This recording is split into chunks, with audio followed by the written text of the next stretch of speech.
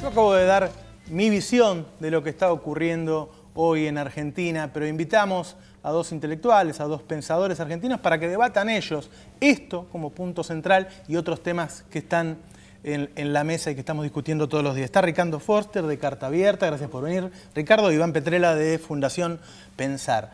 Ricardo, eh, eso o algo parecido a lo que yo conté eh, es compartido por algunos intelectuales de Argentina, pero hay otros que dicen que es un relato, que es una especie de invento ¿sí? que se hace y que no existe. Me parece que a esta altura no hay discusión que pueda partir de la idea de la impostura. Durante mucho tiempo funcionó esta idea, ¿no? Es un relato, es una ficción, es una fábula, dicen que van para un lado, pero en realidad van para el otro, no está pasando nada lo que están supuestamente haciendo. Parece que ya nadie lo cree, ni creo que haya una discusión seria, interesante, valiosa, con quien piensa distinto si partimos de esa premisa. Yo puedo discutir con alguien que no piensa como yo. Ahora, discutir con alguien que dice que yo miento o que mi discurso es pura ficción o maquillaje, invalida la discusión, porque en la Argentina desde 2013 en adelante han pasado cosas notables, fundamentales. Eh, enumerarlas no alcanzaría el tiempo de este programa. Uno podría tomar dos o tres cuestiones claves, desde la política de derechos humanos, que implicó la derogación de las leyes de impunidad y el indulto, pasando por lo que vos señalabas, la recuperación de IPF, de las AFJP transformadas de nuevo en un patrimonio de los argentinos a partir de recuperar el sistema jubilatorio, hasta la asignación universal por hijo, y todo eso unido sin dudas a una recuperación de lo público, de la democracia no como algo deudor de las corporaciones, sino como parte de un debate posible entre distintos actores sociales que vuelven a tener presencia en la vida argentina. Si eso es ficción, si es impostura, si es relato, la palabra relato no me molesta. Mm. No hay construcción política que no suponga un relato, no hay ideología que no se estructure como lenguaje. La narrativa de la vida social es parte de cualquier idea que quiera realizarse socialmente. Entonces, allí no hay problema podemos discutir los múltiples relatos que disputan eh, hegemonía, que disputan capacidad de interpelación, que disputan democráticamente el electorado.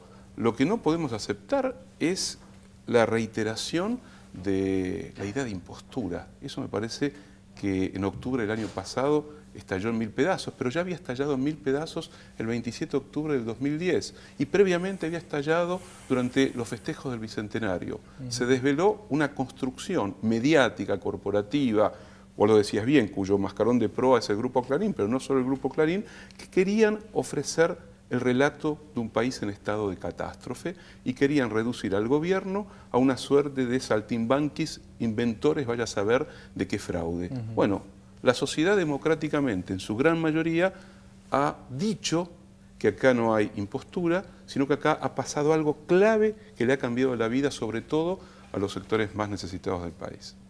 Iván. Eh, a ver, hay, mucho para comentar, partiendo de tu editorial. ¿Otra vez va a querer eh, también.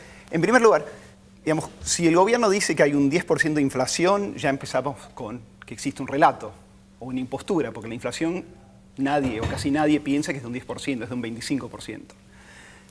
Como primer punto. Eh, como segundo punto, nadie niega, o yo por lo menos no niego, que el gobierno de Néstor Kirchner y el gobierno de Cristina Fernández Kirchner ha hecho cosas muy buenas. Yo recuerdo, por ejemplo, el gobierno de Néstor, eh, no solamente los juicios a los, a los, represores, pero también, por ejemplo, la creación del Ministerio de Ciencia y Tecnología, como algo que marca claramente una visión estratégica a futuro.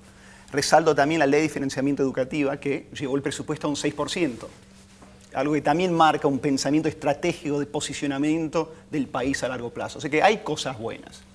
Ahora, al mismo tiempo, creo que hoy vivimos como parte de la estrategia de un relato y que veo muy claramente en tu editorial el maniqueísmo. El gobierno de Cristina especialmente ha operado con una retórica de dividir la sociedad no solo entre buenos y malos, sino entre buenos y malvados. Los grandes intereses, Grupo Clarín, grandes corporaciones, el neoliberalismo, los 90, lo que vos quieras. Y eso lo hace por varias razones. Una es una manera de acumular poder, de formar mayorías. Yo prefiero una estrategia política donde se forman mayorías a través de la unidad y no a través de la división. Pero también lo hace porque cuando vos estás peleando contra grupos malvados, entonces casi todo vale Contra el mal cualquier atropello se justifica, cualquier error también es justificado. Y la realidad yo no creo que la sociedad argentina esté tan dividida como parece sugerir hoy nuestra política y algunos medios y tu editorial. Todo lo contrario, yo creo que estamos como ciudadanos mucho más unidos por el deseo de que podamos ahorrar, que baje la inflación, que viajemos mejor en tren, que podamos llegar a casas sin que nos maten o sin que nos roben. Y creo que hoy el gobierno, en esta puja con Clarín, que de nuevo lo personifica como la lucha contra el mal, ha perdido un poco el rumbo, en el sentido que esa agenda no cambia la realidad de los millones de argentinos. Y es una agenda que no es parte de la agenda de la gente hoy en día. ¿Qué puedo decir? No, les cambio el tema, eh, porque es algo que se está debatiendo. ¿La necesidad o no de una reforma constitucional? A ver, yo ya lo he dicho mucho, lo puedo repetir. Yo creo que es una aventura de la vida democrática atreverse a abrir los textos fundacionales, desacralizarlos, colocarlos en la conflictiva de la vida histórica y volver a repensarlos allí donde las sociedades se han transformado de tal manera que pueden, con creación, con espíritu crítico y democrático, adaptar sus constituciones a las transformaciones que se han ido operando a lo largo de la historia. La constitución del 53, una constitución importante en su momento, nació de una guerra civil, de un bando derrotado, se inscribió en un dispositivo ideológico dominante en la época, definió un tipo de país que prácticamente duró hasta los 30 y el periodo de sustitución de importaciones. Esa constitución no podía ser eh, la base de la totalidad del recorrido histórico de la Argentina. Todos los países democráticos, con vida institucional, con cambios en su interior, han revisado y modificado sus constituciones. Algunos bajo el mecanismo de las enmiendas, como Estados Unidos, otros haciendo innumerables transformaciones constitucionales, como en su momento la República Federal Alemana y ahora la propia Alemania, y países latinoamericanos como México, Brasil. Es decir, la discusión constitucional es una discusión vital, interesante. Yo no creo que la constitución del 94 en su totalidad sea una constitución para simplemente cerrarla y arrojarla a los trastos viejos. Creo que hay elementos interesantes. Ahí se colaron por distintos motivos mm. algunos artículos que vale la pena recuperar, pero hay una matriz, hay una construcción que está en la base de esa constitución que tiene que ver con una determinada concepción de la economía, de la sociedad, del lugar de la Argentina en el mundo, de los derechos, que merece ser discutida. Me gustaría solamente aclarar algo. Eh, la política nació cuando los muchos dijeron que también tenían derecho a una distribución más equitativa del pan. Es decir, cuando descubrieron que hay un sector de la sociedad que se queda con la mayor parte de la riqueza socialmente producida. Estos últimos 40 años del capitalismo, que Stiglitz lo definía de una manera bastante plástica, vio exponencialmente desplegada la lógica de la concentración en pocas manos. El 1% de los ricos norteamericanos tiene el equivalente de más del 40% del PBI de esa sociedad. En la Argentina el proceso de concentración fue brutal.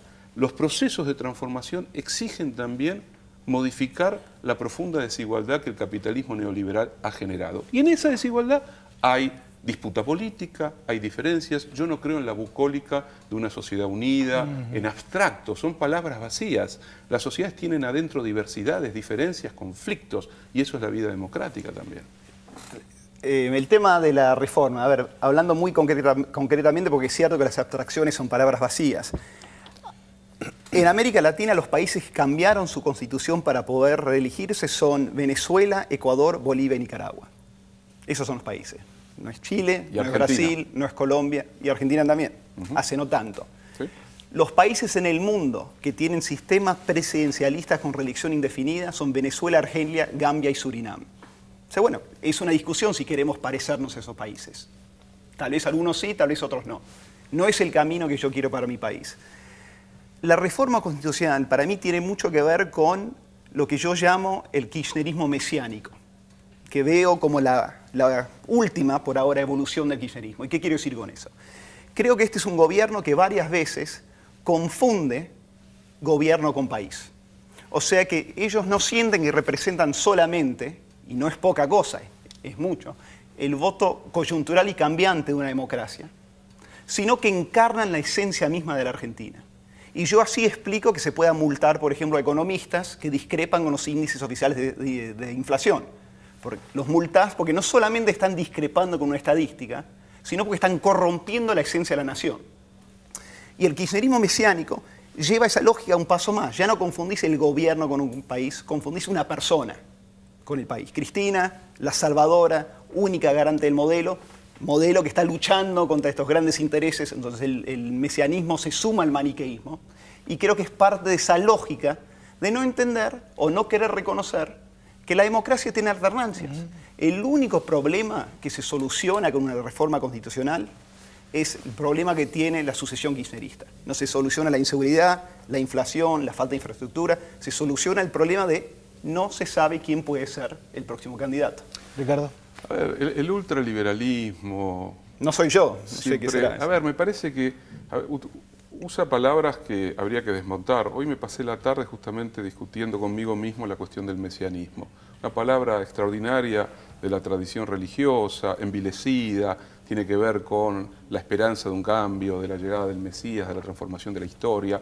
Se utiliza acá como una palabra que se parece a fanatismo, totalitarismo, a concepción unívoca de la historia, una especie de bestia A la, a negra. la idea que la historia se encarna en una persona también, que Eh, es lo que está la- sucediendo acá. Yo creo que la historia encarna en distintas circunstancias sociales, políticas, donde la personalidad en la historia ocupa un lugar no menor y significativo.